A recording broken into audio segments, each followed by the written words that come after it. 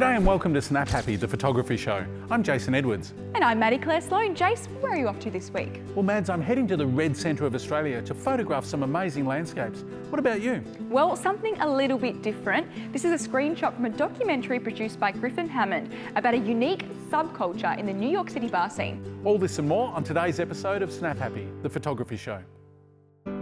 Griffin Hammond is a New York City based documentary filmmaker. He's well known for his YouTube channel where he posts dozens of tutorials for independent filmmakers. And more recently, his award winning documentary, Sriracha.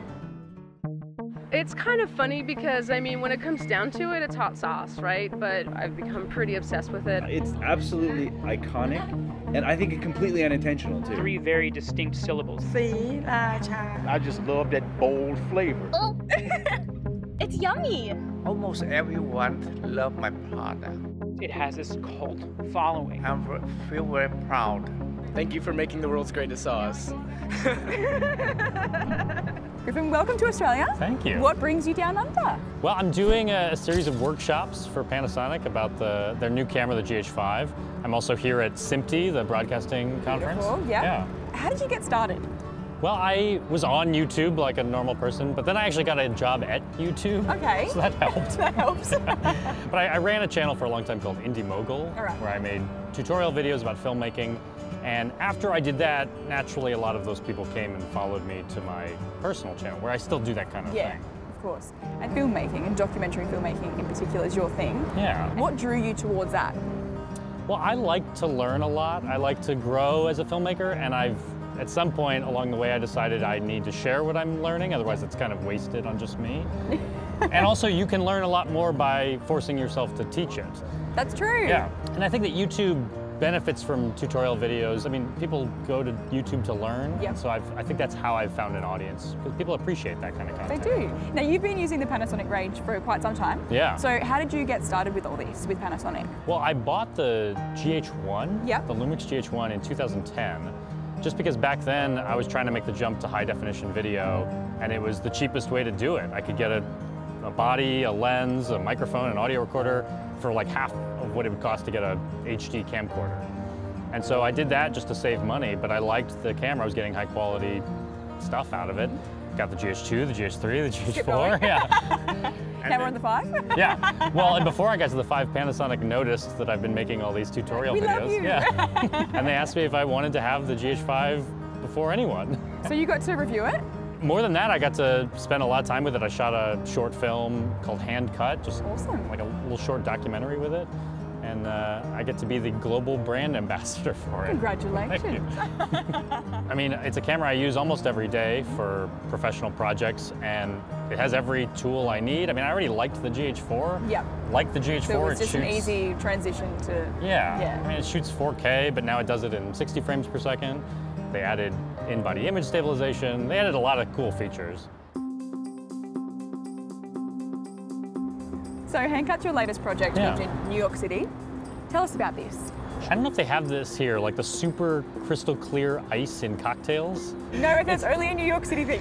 Very popular in New York. And I was just curious, like, how do they do that? How do they get it so nice and perfectly clear? So I made a film about these ice makers in New York and cocktail bars.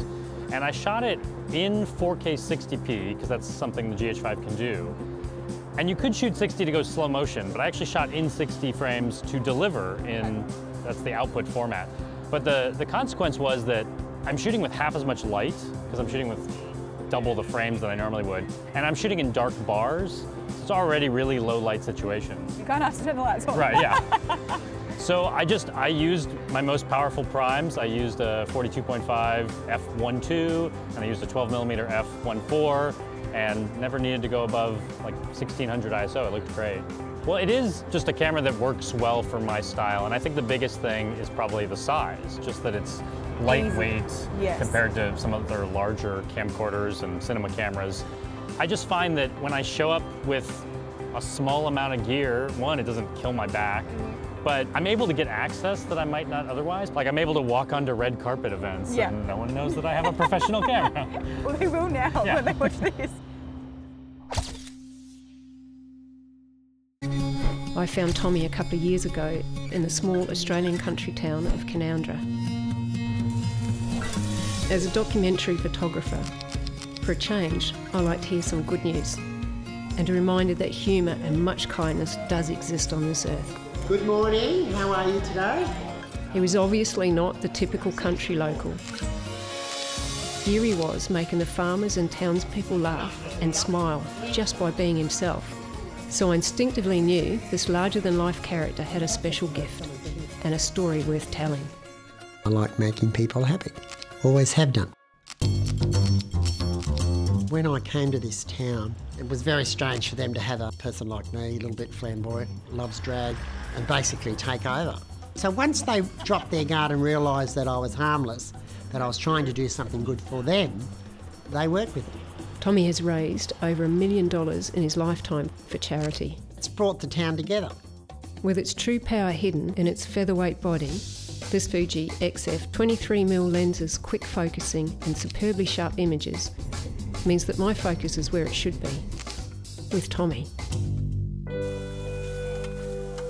Just hand me that egg bowl, see the bowl with the eggs in it, please. We lost a couple of really beautiful young people in really horrendous circumstances. We lost 19 kids. Three years. Ah. It was the worst thing. It was like the devil was in this town. I made all these and I went up and down the main street giving muffins to everybody, which just for a minute, it just cheered them up.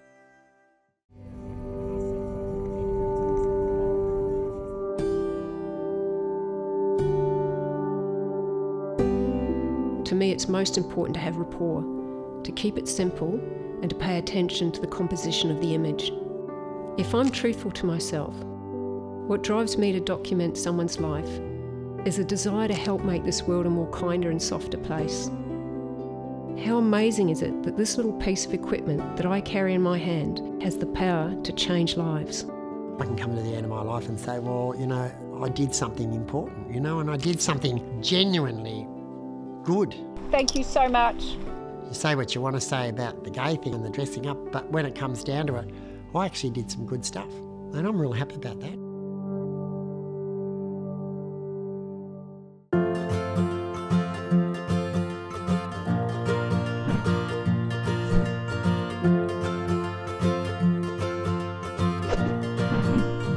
Hi, I'm Griffin Hammond. I'm a documentary filmmaker, and this is what's in my kit. I'm using the Think Tank Perception Pro backpack. I actually have a MeFOTO travel tripod on the outside. And inside I'm carrying two camera bodies and six lenses. Right now I'm using two Panasonic GH5 bodies. And my favorite lens is the 12 to 35. It's an f2.8 lens, just a great documentary lens, really good for run and gun filmmaking. I also have a couple primes that I really like. The 42.5 f1.2 and on my other camera body right now I have the 12 millimeter f1.4. So both really great in low light. I have the 7 to 14 that I use as a time-lapse lens, very wide angle. Uh, and actually I've sliced off part of the lens hood just so that I could get my ND filter really close. When I shoot time lapses, I like to use a half second shutter, so I need a really heavy 1000x ND filter. I also have a 35 to 100. I don't use that much, but sometimes I shoot events and I need that extra zoom. And then I have this uh, Lumix 25 millimeter. It's an f1.4, just a really nice portrait lens. Everything else in here is lighting and audio. I carry around a Rode NTG 3 microphone, shotgun microphone. I actually have it in an old Asden shock mount. And then I have a few audio solutions. I can either record my audio onto a Zoom H5 recorder, or Panasonic just made a new feature for the GH5, this XLR1 adapter. This goes right on top of the camera on the hot shoe and lets you plug XLR mics right in. I also have a lav mic in case I need it, but I always prefer the sound of a, a shotgun mic. I guess lastly here, I have a couple Lume Cubes, these little tiny lights in case I need some lighting. Usually I'm just looking for good sunlight to shoot with. And then one of my favorite pieces of filmmaking technology, I carry several of these. They're called the Pedco Ultra Clamp, and I can mount a light on one of these, it's a tripod mount, or even the camera. The camera's lightweight enough that I can use this in a pinch as a tripod. Let's mount this, clamp this thing to a chair or table or something, and now I have another way to mount a camera. I'm Griffin Hammond, and that's what's in my kit.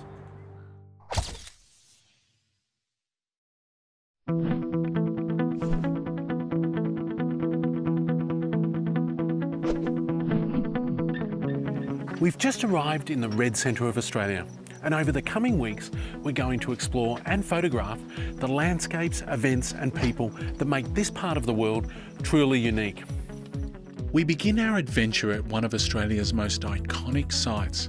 The Anangu people have lived in this area for tens of thousands of years, and Uluru has significant spiritual value in their culture. Everyone who visits Uluru wants that classic sunset shot. And why wouldn't you? Look at the scene behind me. But you need to get there early because there are a lot of people.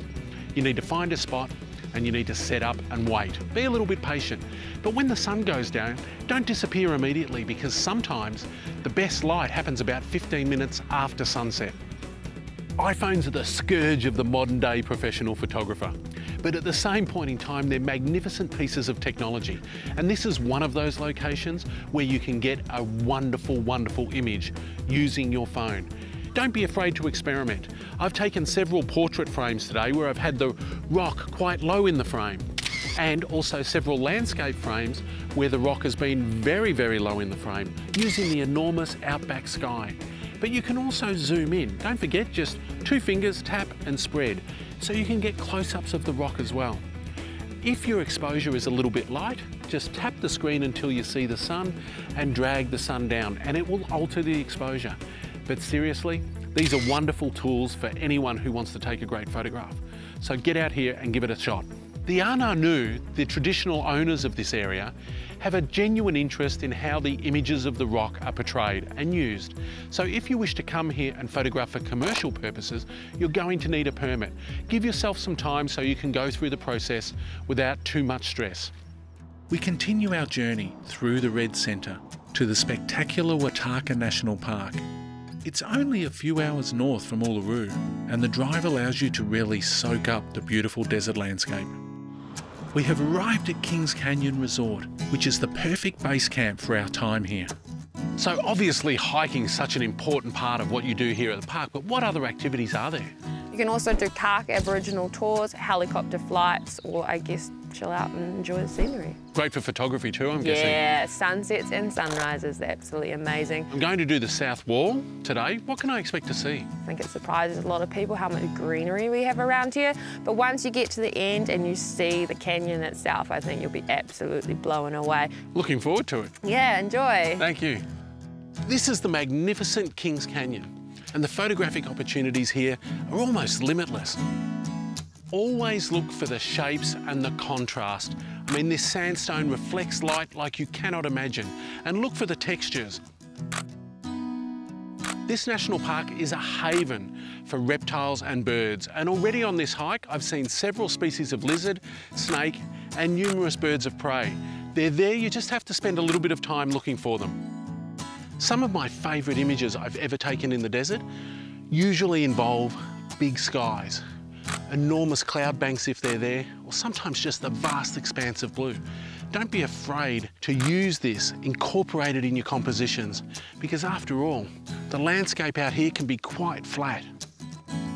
The gorge is really deep and it shelters a pocket of forest. And in that forest, there's pools full of water. There's lots of reflections and cycads, and also birds and mammals. So take the time to explore the lower levels as well as the escarpment. This desert region is beautiful, but it's also really remote, so you need to be careful. It would be easy to hurt yourself if you weren't concentrating, but enjoy this spectacular ancient landscape. We head back down to the desert plain, but we need to move fast as I want to capture a different perspective of the canyon. I've met up with Dave from Professional Helicopter Services. Looking forward to going up in the helo. What are we going to see? So we're going to shoot up uh, straight into the canyon there. We'll buzz around the canyon a couple of times, having a good look down into that. And also the really beautiful uh, Garden of Eden, which is sort of up the back of the canyon itself, nice big waterhole. Uh, then we'll fly across the top of the George Gill Range up there, uh, having a look down into the creek, and then wrap around Carmichael's Crag and Dingo Pups, and back down here. Really nice flight. I'm sure the view is very different from the air and great for photography. Oh, definitely, yeah. Look, especially uh, flying around late in the afternoon like this, you get some really nice lights hitting all the different sandstones. Uh, really beautiful up there for sure. For convenience, I prefer using two zoom lenses on two separate bodies. Generally speaking, a 14 to 24 millimetre paired up with a 70 to 200 millimetre for close-ups. Use the fast shutter speed, and although this may seem obvious, it's necessary to mention. In order to avoid any kind of motion blur, maybe start with a shutter speed of at least 1 500th of a second, an aperture of f4, and a minimum ISO setting of 320. If you feel comfortable, experiment with your exposure compensation, increasing it or decreasing it. Turn on the vibration reduction in your lens and body if you have it. Be sure to tether the camera to yourself or to the vehicle you're working from, and remove the lens hood so that you can get closer to the glass and reduce reflections. Don't be too concerned about the weather, and definitely don't pray for good weather. I mean, look at our conditions today, the light's quite flat, but we've got sheets of rain falling down across the desert, and in the distance you can see the haze of a storm coming in. Some of the shots we captured over this vast arid desert landscape became more interesting because of the bad weather we're shooting in today. What a fantastic way to end our expedition in Kings Canyon. Now I'm going to head back to the resort for a cold drink. Happy shooting.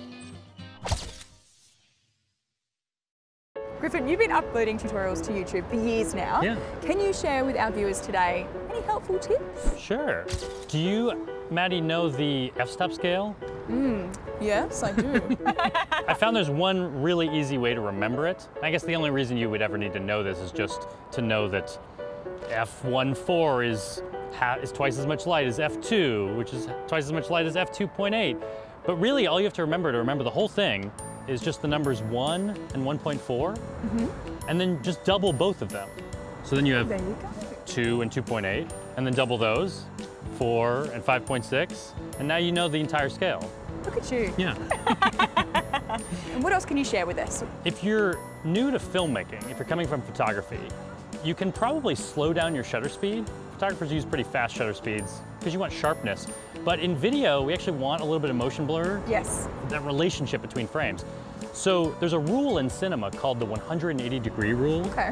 which simply means that your shutter speed should be half of your frame rate. All right. So if your frame rate is 25 frames per second, you should be shooting at a 1 50th of a second shutter Alright. speed. And that will create an appropriate amount of motion blur. And what would be your third final tip for our viewers today?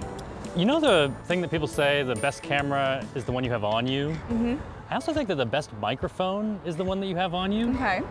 I have some expensive microphones, but I don't always carry them around. Even just a phone in your pocket, if you can just get it close, any microphone, if it's close, will sound great. So if you're filming an interview like this right now, and we don't have a lavalier microphone, just get this close, record some audio, and you can sync it up later. Well, there you go. That's one I use actually too. Great tip. well, thank you so much for coming on the show, Griffin. Of course, yeah. And if you want to see some more tips from Griffin, head over to his website or subscribe to his YouTube channel. Thank you so much. Thank you for we'll having see me. you soon.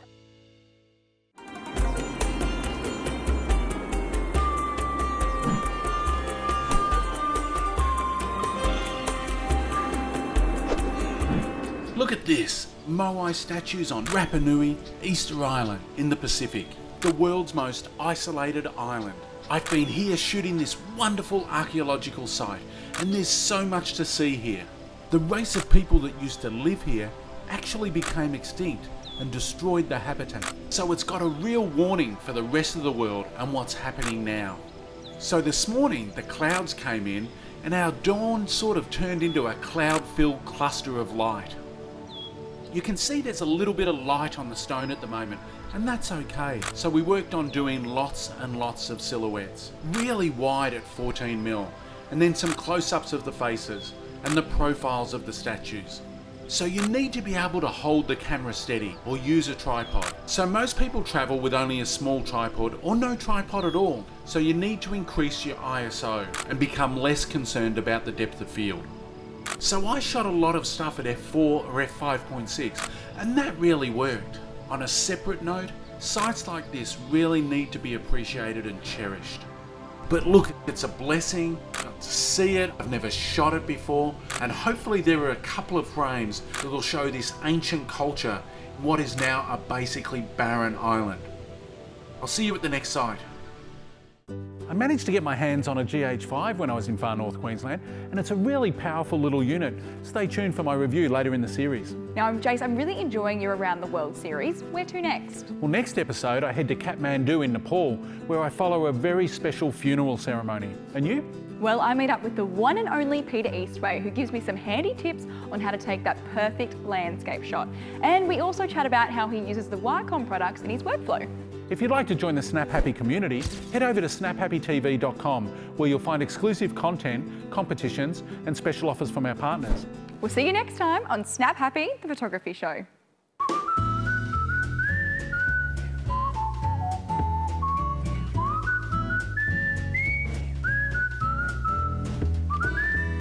Just arrived. Got the lens caught on the thing.